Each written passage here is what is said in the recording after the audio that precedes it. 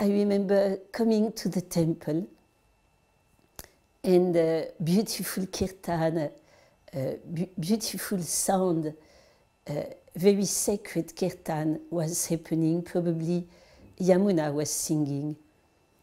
Then we, we sat down, and all of a sudden, uh, the, the devotees fell flat on the floor.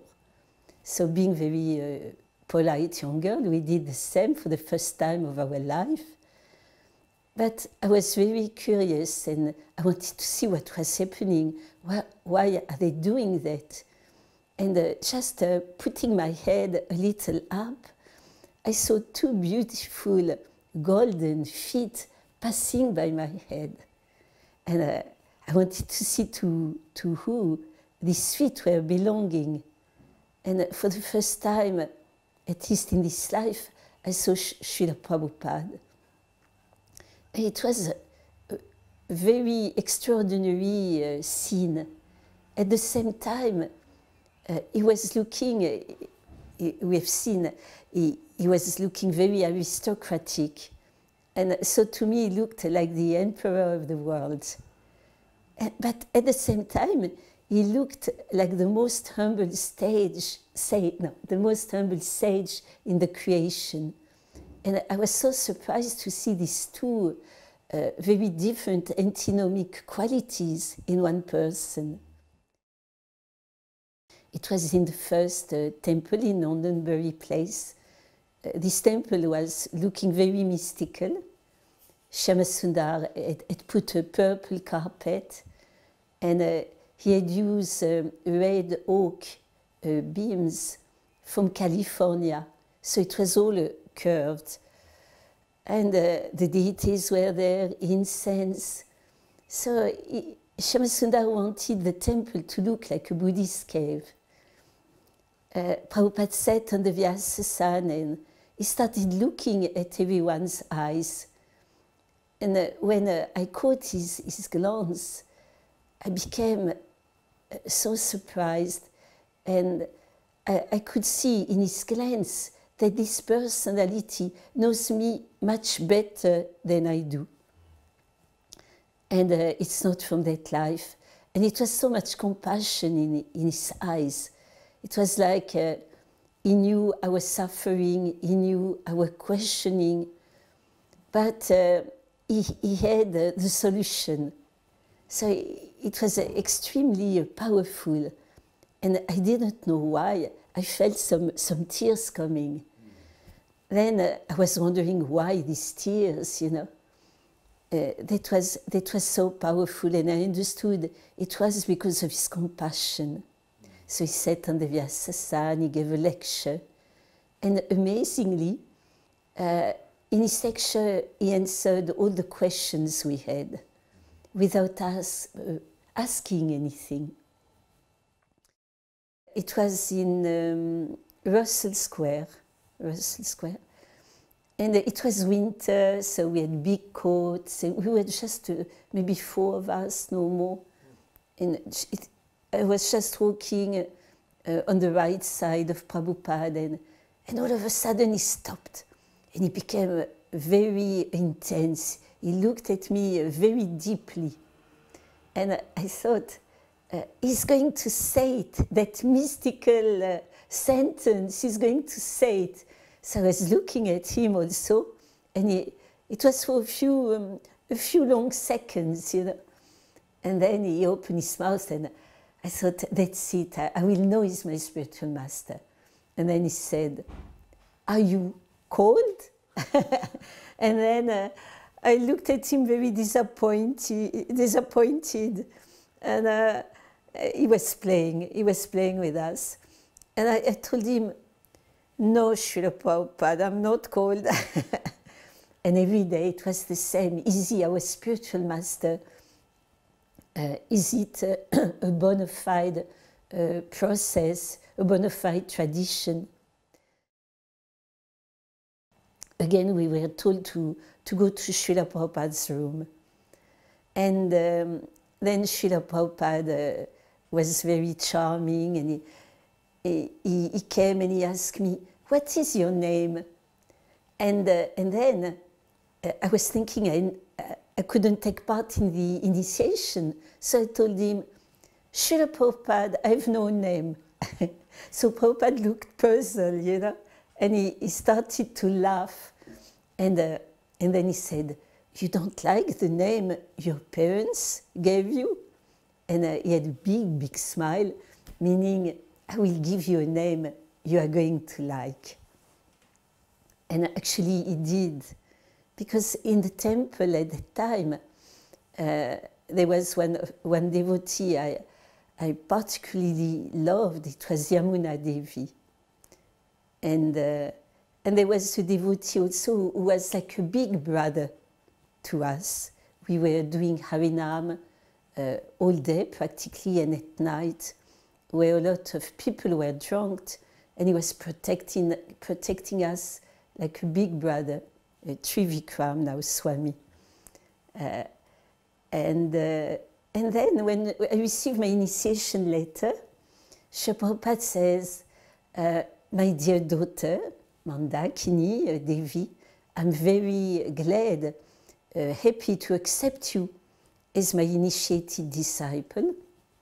Please, uh, and I, am also very happy that you are appreciating the bliss of Krishna consciousness. And then he said, uh, Your name is uh, Mandakini, it's the name of a river, uh, the river Ganges. And I thought, oh, like Yamuna, I got the name of a river. And then he went on explaining that Lord Vamanadev made a little hole in the universe. Uh, when he became gigantic, his name was Trivikram. And, they, and uh, then the Mandakini uh, fell on the Earth planet. So he connected me with the devotees I really appreciated uh, so much at the time. And uh, uh, I understood later that Prabhupada knew, you know, my wish for that name. And somebody asked Srila Prabhupada, Srila Prabhupada, do you know everything? And Srila Prabhupada said, no, I just know what Krishna wants me to know. I got, I got the service of helping Yamuna Devi uh, in the Pujari room, uh, although I had absolutely no qualification. And that service actually um, helped me to get uh, rid of most my impersonalism. And during that service, uh, I also learned how to cook for Krishna. And I, I heard that Srila Prabhupada said they said, I would like to go to the spiritual world to, to eat loglu and kachoris. So I became very enthusiastic to learn these two preparations. We had a lot of Bengali ladies coming to London Temple, and they taught me how to do peas, kachori. They taught me loglu and, and so on. Uh, so uh, one time in, uh, in London, um, Prabhupada came and uh, he was not feeling so well. Uh, unfortunately, I, I, don't have uh, the date in, in mind. And some or other, uh, Himavati was supposed to cook for him, but she declined. And I was, I was asked to cook for him. So every day, every day, uh, I used to do the basic, you know, Prabhupada wanted in his brass cooker, he wanted his dal, his rice, two subji, one dry, one wet, and uh, anything else we, we could do. You know, bitter melon, but we could, we, we could add, add extra preparation. So I was doing everything I learned from the Indian uh, ladies. And one time uh, I made kachoris so I brought uh, the plate to Srila Prabhupada in his room. And when I came in the room, uh, his, uh, his eyes became very, very big. And in his eyes, I could see uh, the eyes of the little kid he was in Calcutta, putting kachoris in his pockets. And he says, Mandakini, you made kachoris? And I said, I tried, Srila Prabhupada. And uh, then he, he, obviously he, he was pleased, but I had no, um, no word, I had no feedback. He stayed for about one month. And uh, I was wondering, does Srila Prabhupada like it or, or not? You know, there is no feedback. But the last day, uh, he was going to, to fly uh, next day. Uh, I think it was Srutakirti, uh, brought a big list. And he said, Srila Prabhupada wants you to cook all this for the, for the plane. And I saw all the special preparation I'd been making.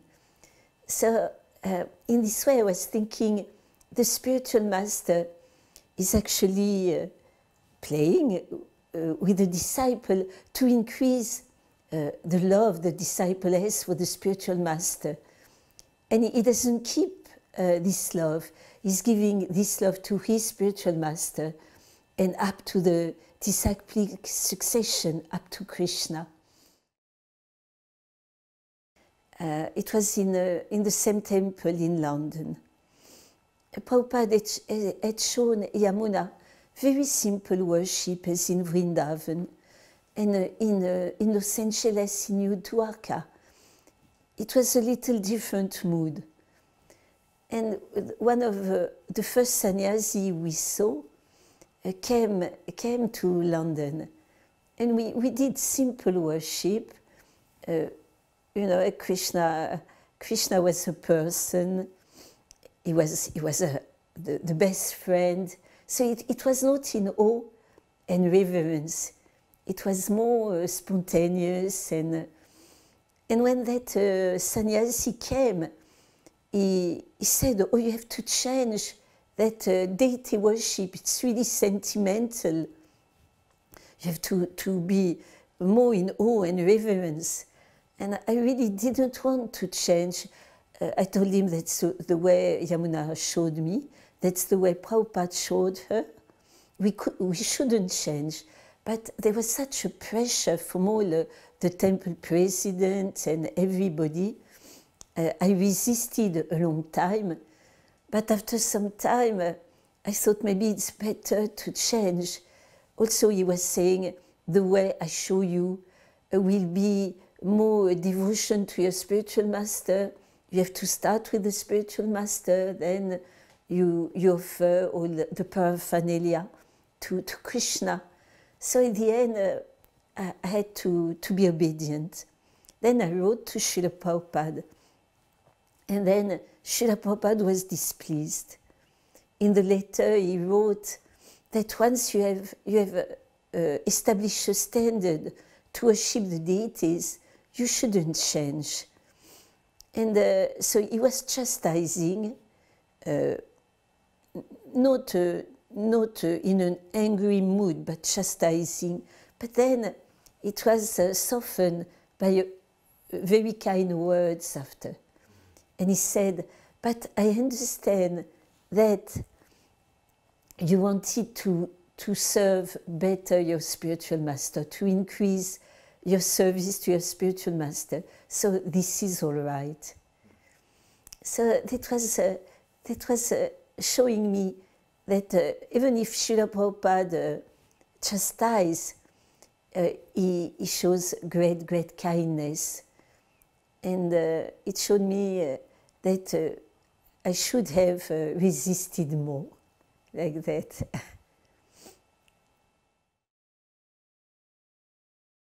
something comes to mind in, um, in a, also in the same place in London. Srila Prabhupada was not there. And uh, one day I was doing a, a article alone.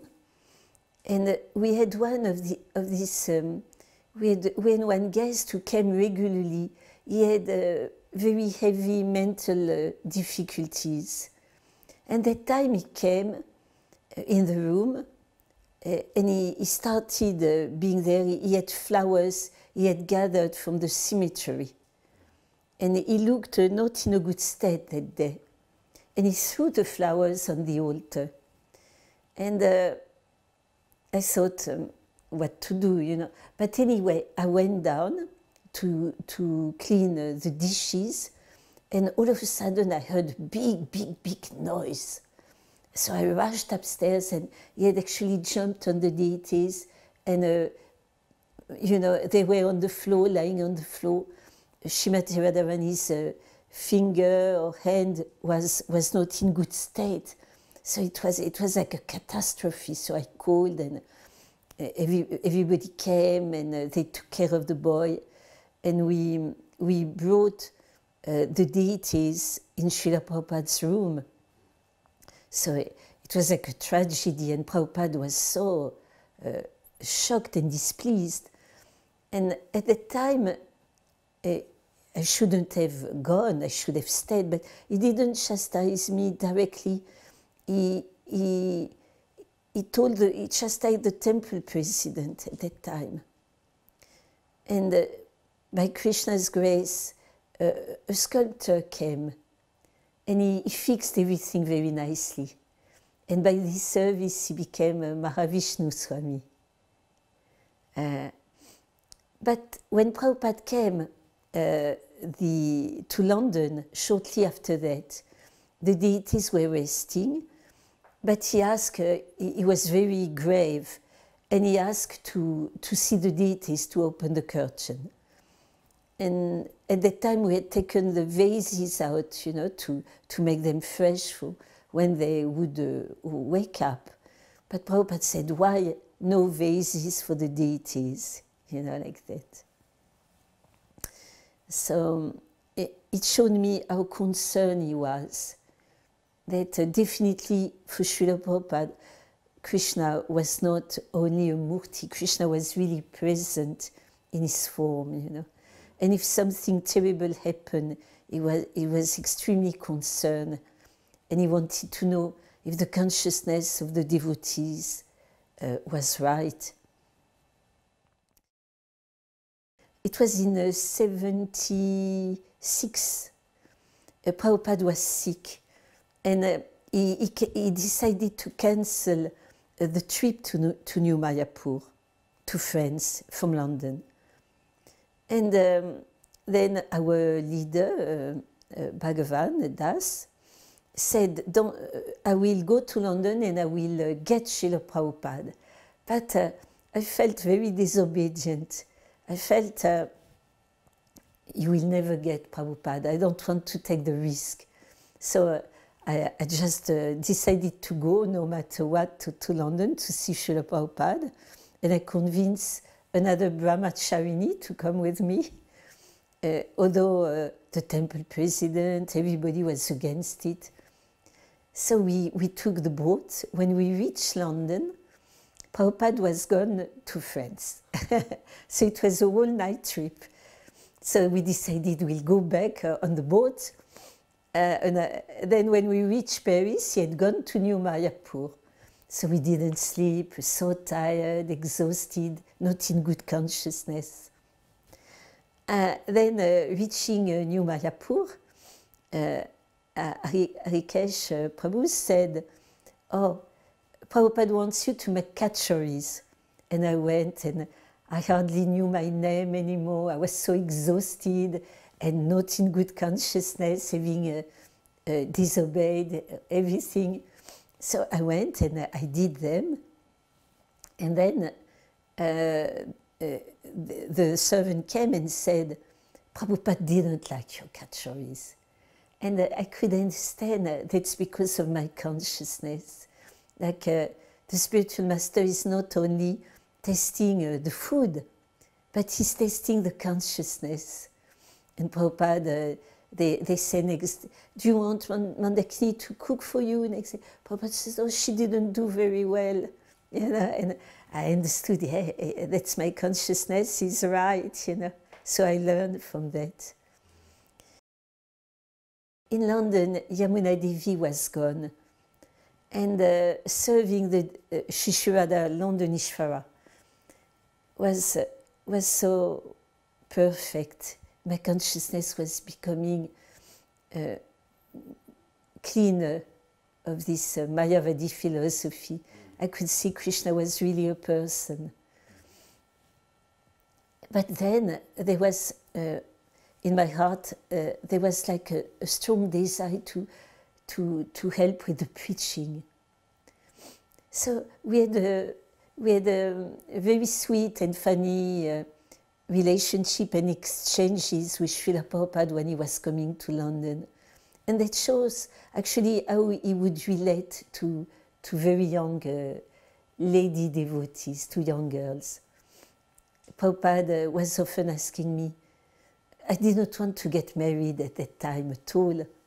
So anytime there was a proposal, I will just uh, put uh, the worst sari in the world and put a face uh, very, uh, you know, very uh, sad, very grave, and uh, people will leave me alone. And Prabhupada, when he used to come, he, he used to say, Mandakini, you're not married yet. And he used to laugh. And then he would say, You didn't find anybody good enough for you? And I would become all red, and he would laugh. And so uh, one day we heard the most amazing uh, thing that Srila Prabhupada was in Moscow. And uh, I remember uh, becoming, uh, I thought I was very proud of Srila Prabhupada.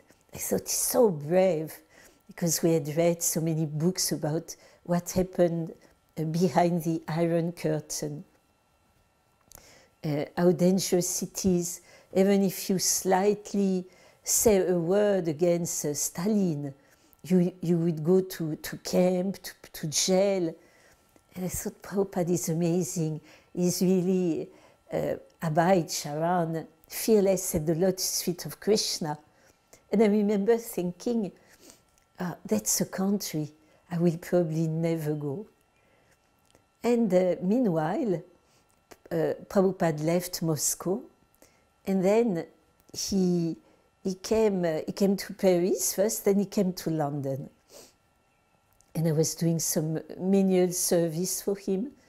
One devotee said, Mandakini, Prabhupada wants to see you.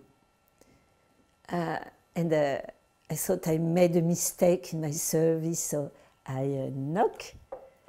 And Prabhupada said, Come in. And uh, I came, and he, he had a big, big smile. Shyamasundar was standing near him. And he says, Come close. I offered my obeisances. He said, Come close.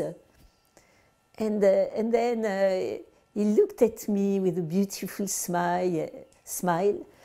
And um, I remember always in the same way. He, he, he, talked to me in the way he would ask me to, to go and get some potatoes across the street. And he said, Mandakini, would you, would you like to go to Moscow and to marry this boy, Anatoly? And by the grace of Lord Chaitanya, uh, you, you can assist the mission there.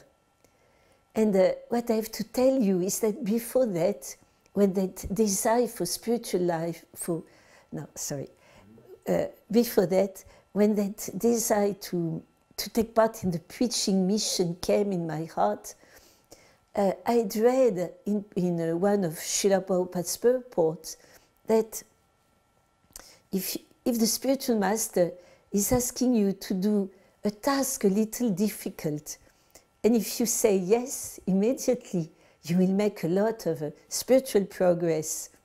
So uh, I was very young, I was 21 at the time. So I ran to Sri Radha Londonishvara, and I knew they were person, you know, real person and they, they could help. So I prayed and I said, please, please, my dear Lord, can you, can you arrange it? Can you make uh, an arrangement so that Srila Prabhupada would ask me to do something a little difficult, but please, please remind me to say yes.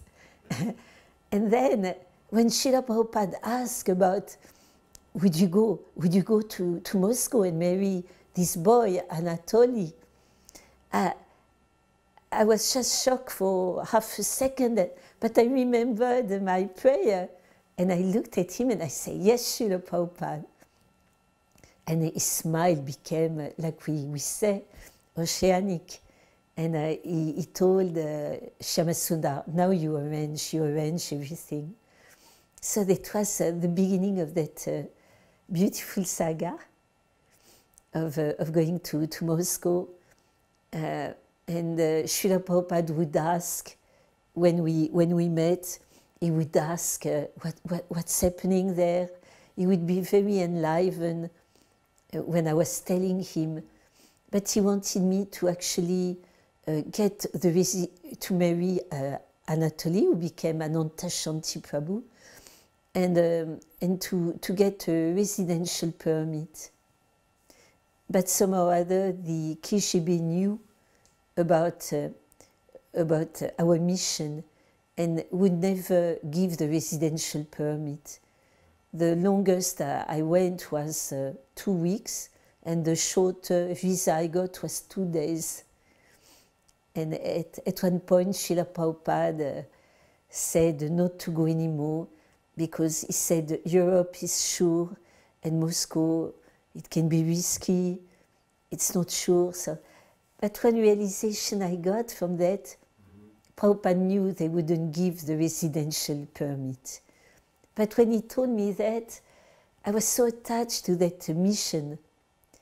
Uh, and, uh, and I loved uh, the people there, the, the spiritual seekers.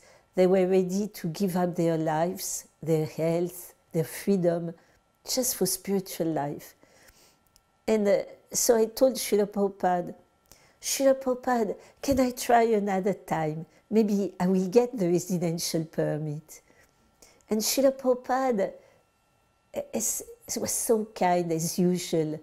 And he says he knew I wouldn't get. And uh, when I went the last time, it was, it became clear it was not time to go back, you know.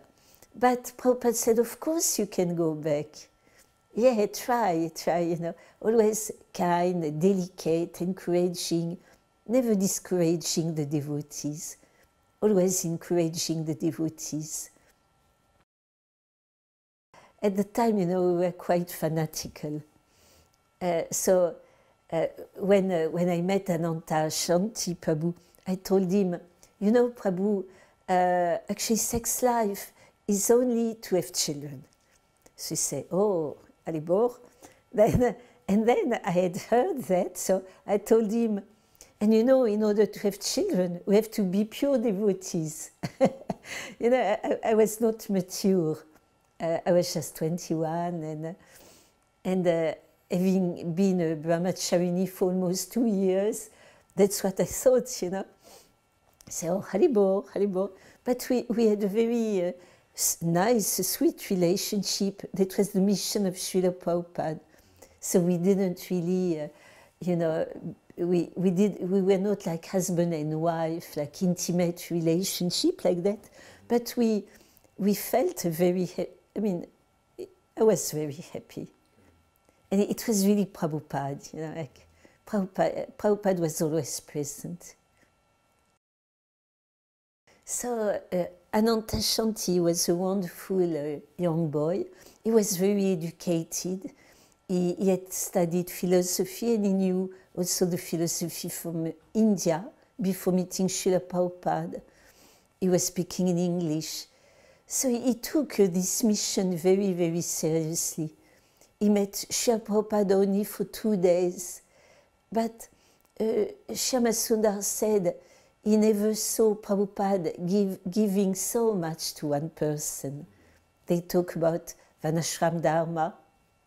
They, they, and, uh, Anatoly then asked Prabhupada, Srila Prabhupada, in order to preach Krishna consciousness, should I become a pope? And Prabhupada laughed and said, It's not necessary. And then uh, he, he asked Srila Prabhupada, before leaving, it would be good for me to have a Western wife. This is how it came to be. So, uh, what uh, uh, Ananta Shanti was doing, he would approach friends. You couldn't preach um, directly, uh, you know, to people in the street. Would you like me to tell uh, some of his preaching uh, activities, how he was doing? So uh, for example, he, he had the Srimad Bhagavatam that uh, I brought to, to Moscow with the, with the help of Srila Prabhupada and Krishna. to such an adventure. And he would sit uh, on, the, on the table in, the, in a coffee in summer and open Srimad Bhagavatam uh, at the pages with the, with the pictures, the pa beautiful paintings. And people would be very attracted. They never saw su such pictures. So they would say, What is that? Can you tell us? And he would say, Sit down, I'm going to explain to you. So they, they would sit and the police wouldn't see, you know. That was one way. Uh, another way, when there was no books, uh, devotees in Russia at that time had uh, absolute faith in a prasadam. So he would dress very nicely. He would buy a bouquet of red roses. He would offer to Krishna. And, and then he will go out in the street and approach the people and tell them, smell this rose. At least you will get a human form of life. And police would come, what are you doing? What are you doing? He would say, today I'm in love and I want to share this love with everybody. So the police would laugh and he would carry on distributing the roses. another, another thing he did, uh, he, he made a scientific institute.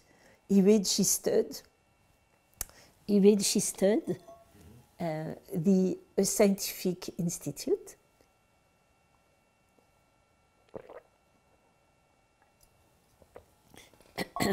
because actually at the, at the time and still now in the Soviet Union, uh, science was, uh, was God.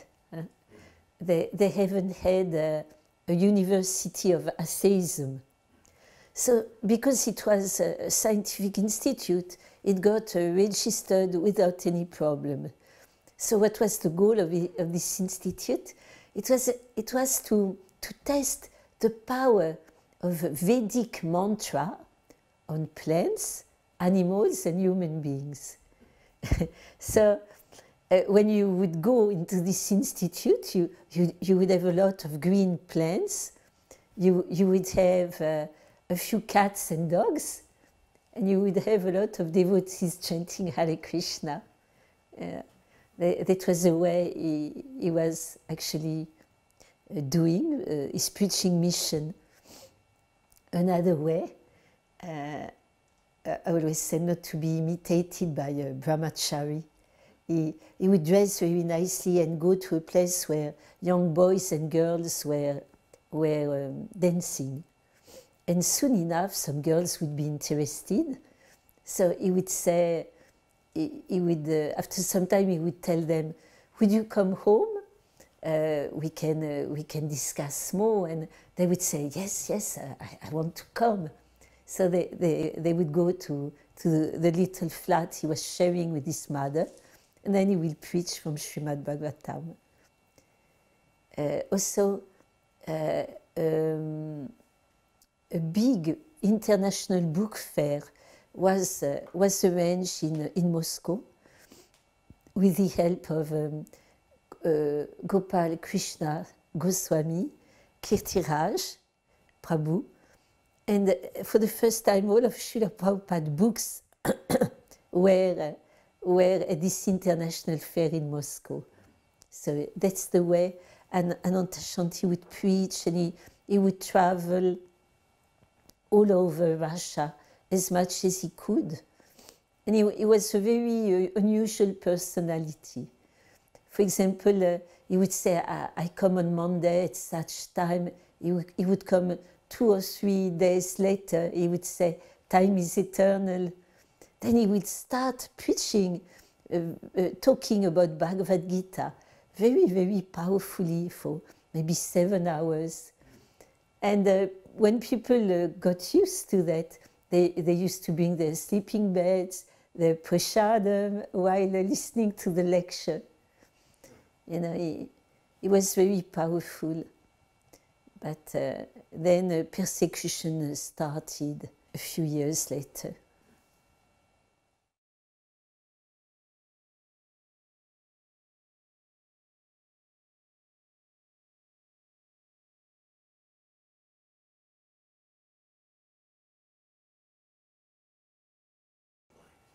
What impressed me the most about Prabhupada was his complete uh, selflessness, his, his infinite compassion, his complete dedication to, to helping uh, the suffering souls, to helping humanity, and also the fact he had perfect knowledge. Uh, he, had, he had an answer for any, any problem, he had a remedy, not only for the personal uh, problems of his disciple, but he had the, the perfect uh, peace formula for the whole world and his infinite kindness, com complete knowledge, extreme kindness, mystic mysticism. We could feel that, that wonderful mysticism. Actually, being near Srila Prabhupada, um, we, we could see that he was opening for us a little window on the spiritual, on the spiritual world. The spiritual world, God uh, became so real in Srila Prabhupada's presence. It was very possible to, to reach perfection. In the beginning, uh, when I, I, joined just a month after I joined, I remember uh, Tamal Krishna uh, Goswami told, he told me, Mondakini, in three years we are all going to become pure devotees. you know, we were convinced just by following Srila Prabhupada, perfection will be very quickly attained.